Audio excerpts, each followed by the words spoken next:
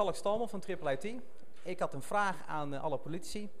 Kan je niet beter een win-win situatie bereiken met economische maatregelen voor het milieu? Bijvoorbeeld in Duitsland is de katalysator ingevoerd door regelgeving in Duitsland. Klassieke win-win situatie. Auto's rijden zuiniger, zijn goedkoper en beter voor het milieu. En hetzelfde geldt voor eh, de katalysator.